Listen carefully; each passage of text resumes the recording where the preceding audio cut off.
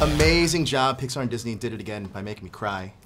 Can I get another one of these movies? They're, they're good at that. Yeah, right? Um, yeah, I'm sure you're going to get this question a lot, but how exciting is it to be a part of a Pixar film that touches on the Mexican culture? It's, I think, the thing we're most thrilled about. I mean, it's, you come to a Pixar project when you're invited, as a fan anyway. I have two kids and I've seen all of their movies, and there's no denying they're master storytellers. Oh, yeah. That they're, that they're at this moment, in this age, shining a light, a, re- a rather bright light, on the beauty of the Mexican culture.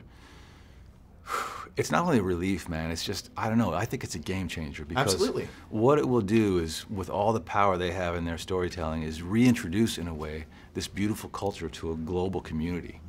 And it will not only underscore that beauty, but it also um, share the connective tissue, really, that at the end of the day, we're all human beings. We all kind of traffic in the same wishes and desires, and it's all relatable. So I'm really excited about that part of it. Anthony, I'm sure you, you grew up watching this, so what about you? Oh yes. Um, the day I found out I was gonna be in this movie, I just couldn't believe it because I would just watch these movies since very little, and just to be in one at the age of 13 is mind blowing and amazing, and especially that. that Dude, it- you're not just in it, you are the heart and Yeah, soul you of it. You carry, he carries it. Thank you, and especially to be in a movie that features that this wonderful celebration, the Day of the Dead. Mm. Um, it's just amazing because I I celebrated since I was six years old, and and now I just know more about it, and it makes me want to celebrate it even more. You know, um, Miguel's music is his passion, and his passion carries on throughout the film. Anthony, how do you hope to inspire people to live out their dreams and their passions? Oh, that's that's a wonderful question because I think Miguel does that since he he really uh, he's very perseverant and he doesn't give up and even though his family tells him no music and he he really fights for what he wants and if he says he's gonna be a musician he, he never gives up and he's gonna be a musician Yep. and I think he's a big role model for other children because like if they have a passion that they want to do and and they should share it to the world because if that's really what they want to do and they love it then they should pursue it Absolutely. Now, Benjamin, how does it feel to play the most famous man in Mexico? and uh, how do you feel that the audiences, what are audiences going to take away from the downside of, of fame and, and perseverance and stuff like that? Well, yeah, it was it was a pretty you know pretty trippy thing to step into the shoes of a, a skeleton that's got that much swagger.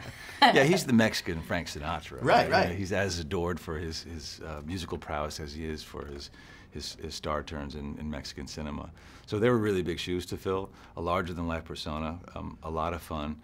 Um, and as the as the idol of the of, of the lead of the film, Miguel, you know that interaction was a lot of fun to do. Um, you know, true to Pixar's form, there are some dramatic turns that take place later in the film without giving too much Sure. up that um, that make it that much more challenging. But um, yeah, what a great opportunity, man. Right? Um, now, has there ever been a time where your family may have not approved of your artistic dreams, and how did you seize your moment?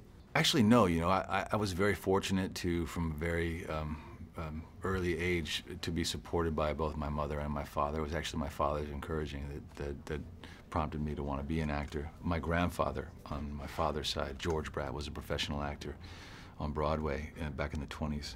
So I was told that it's it's part of my DNA, and so you know, with that belief, um, and it's very similar to what Miguel goes through. He's told that he comes from a, a family of musicians, even though it's now banned in his household. It just reinforces what he already knows about himself: is that he has a passion for artistic expression, and whether his family wants him to do it or not, he has to live it out. I can relate to that. I left home at a very early age to pursue that dream, and in a similar way achieved it. But also, like Miguel, as I got older, I realized I don't have to abandon who I am or where I come from or what makes me who I am, which Right. is this path that was set by my ancestors. It actually makes me a stronger, better person, as I think Miguel discovers for himself.